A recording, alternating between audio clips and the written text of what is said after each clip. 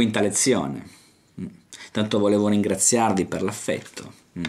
Mi scrivete in tanti e devo dire che mm, questo corso mi sembra molto fruttifero. State iniziando a raccogliere i primi frutti dall'albero della mia conoscenza. E ho notato dei notevoli miglioramenti. Se a maggio molti padri mi scrivevano ho problemi quotidiani, e sottolineo quotidiani, nel rapporto con mio figlio, tant'è che questa cosa sta rovinando il mio matrimonio, rischio il divorzio, oggi gli stessi padri mi scrivono ho problemi, perché non posso essere un mago, mi scrivono ho problemi, mm. ma un sabato sì e un sabato no, e nelle domeniche dispari. Direi che stiamo lavorando? Mm, nella giusta direzione.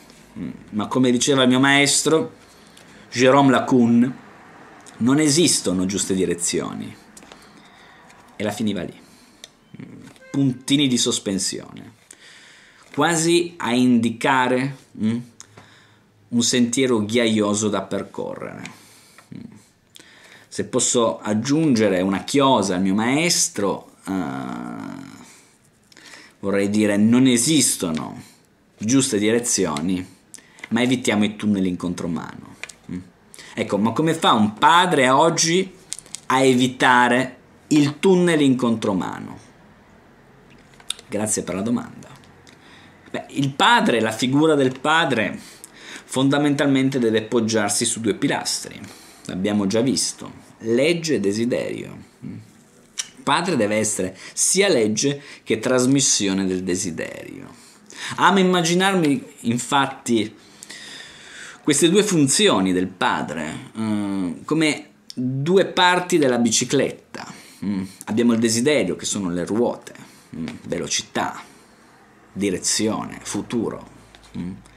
E la legge è rappresentata dalla catena. Mm. Non va vista semplicemente come un impedimento, qualcosa che frena, no, tutt'altro. La legge vista come catena è qualcosa che struttura il desiderio, anzi, a volte gli dà proprio lo slancio giusto, lo lubrifica. Ricordiamoci che il desiderio non è nulla senza la lubrificazione. E cosa resta al figlio di questa bicicletta? Mm. Beh, sicuramente il manubrio.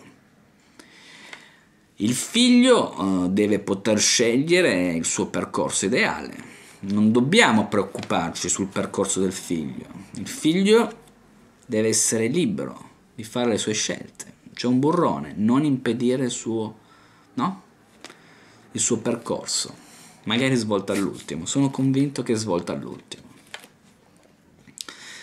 Quindi il figlio rappresenta il manubrio, la madre ci può mettere i freni, gli specchietti, la luce, la borraccia se ha sete, mm? Tutti quegli strumenti utili a proteggerlo, dargli gli strumenti giusti per sentirsi comunque a casa. E infine abbiamo il campanello di bace, brioso, dura un attimo, quello sono i nonni, briosi, ma durano un attimo. Ecco che abbiamo quindi un'immagine ben delineata del padre. Il padre che deve mostrare al figlio il desiderio, ma gli deve anche mostrare che per raggiungere il desiderio bisogna pedalare, bisogna sudare, ok? Bisogna no, agire secondo certe regole. Hm?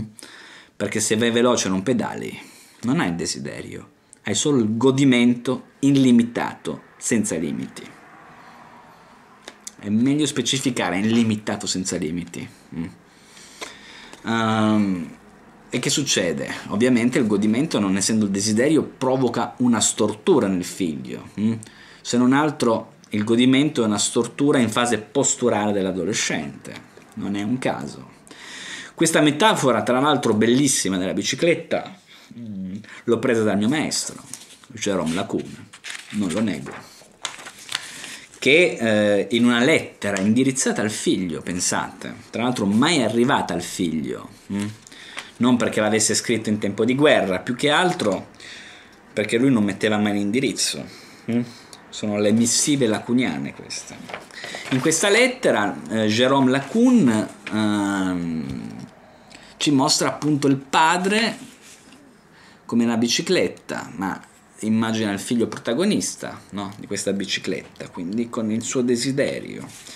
Quindi il desiderio e la bicicletta per poi avere un ripensamento alla fine.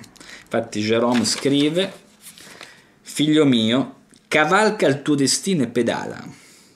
Ben conscio, ben conscio che solo la fatica muove il desiderio e nel tuo percorso dovrai mettere in conto le cadute, gli urti, gli automobilisti che aprono improvvisamente lo sportello della macchina? Mm? i binari scivolosi, gli autobus implacabili, le moto che tagliano la strada, gli incroci mortali. Senti, figlio mio, prendi il tram che è meglio, ok? Questo è Jerome Lacune. Prendi il tram che è meglio, da cui appunto il film Un tram chiamato Desiderio. Ecco, Jerome Lacuna ha dato questa immagine del desiderio, ha dato al figlio il desiderio, ha dato le regole della vita, forse ha messo l'accento mm, un po' troppo sui rischi. E il figlio ha collegato passione, rischi, legge, è diventato un assicuratore. Ma questa è storia. Ma abbiamo visto appunto il desiderio dallo slancio, ma cosa succede in una famiglia mm, se manca il desiderio?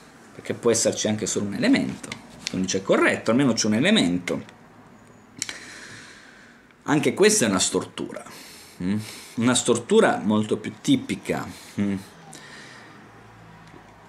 del secolo scorso, oserei dire, ma mm, potrebbe tornare attuale. Eh, e c'è un film che parla appunto di questa stortura, un film del 1981 il padre sarto della Santa Chiesa, quindi immaginatevi già l'ambiente abbastanza austero. Ecco, questo padre sarto della Santa Chiesa applica la stessa austerità nella vita domestica, alla casa, all'educazione del figlio.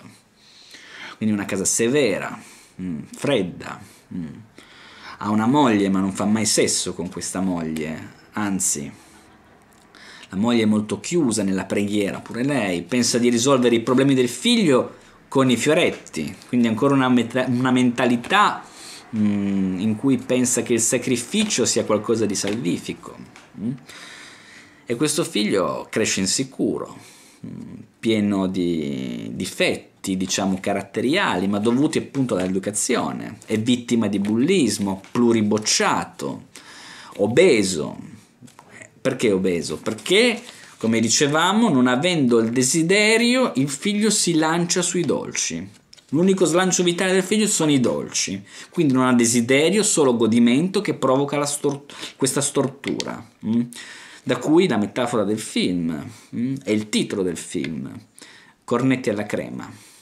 Ecco, la frase di Lino Banfi che può riassumere questo rapporto col figlio è Scusate, me la sono segnata, perché insomma me la ricordo. Ecco, il bimbo sembra scemo, in realtà quello lo è. Ecco. Allora possiamo dire, dovremmo dire, che per mettere in moto la bicicletta della vita, il padre deve trasmettere il desiderio. Un padre spinto dal desiderio trasmetterà desiderio al figlio, ma senza la ruota del desiderio vige solo la legge del padre non c'è movimento, non ci sono ruote, ci sarà solo una catena.